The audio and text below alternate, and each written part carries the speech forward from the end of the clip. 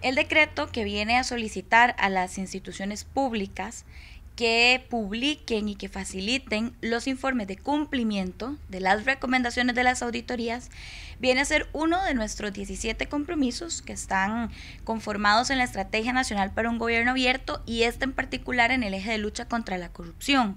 ¿Por qué estamos impulsando este decreto? ¿No se supone que ya los informes de auditoría son públicos? Pues sí, efectivamente los informes de las auditorías son públicos y tienen una serie de respaldos eh, legales y que incluso la ciudadanía puede ingresar en la página de la Contraloría General de la República y ahí se pueden vislumbrar los informes de auditorías que hacen en general de todas las instituciones bajo la competencia de fiscalización de la Contraloría. Pero nos dimos cuenta, sobre todo a partir del esfuerzo de la iniciativa Yo Soy Gobierno Abierto, que impulsó Sociedad Civil para construir su agenda de prioridades de gobierno abierto, eh, logramos identificar o ellos nos manifiestan que la ciudadanía sabe, algunas personas, que son las auditorías y demás,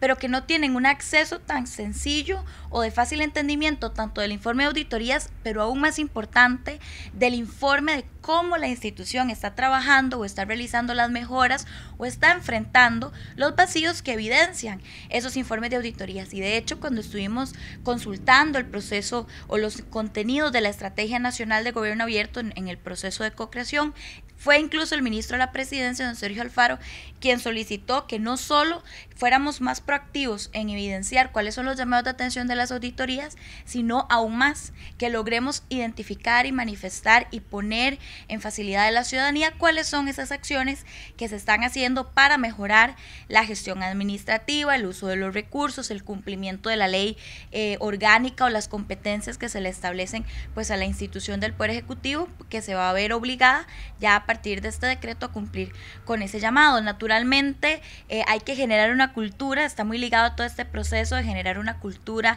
proactiva de transparencia y de acceso a la información, pero vamos a trabajar ya con la emisión del decreto en un proceso de sensibilización y de generación de capacidades en las personas encargadas pues de dar respuesta a estos informes de la auditoría, donde no solo las unidades de planificación o los entes administrativos estén involucrados, sino que también las unidades políticas o toma de decisión de los ministerios también conozcan cuáles son esos llamados de atención y contribuyan en la mejora de esas solicitudes o de esas exigencias en materia de fiscalización que hacen las auditorías en cada una de las instituciones.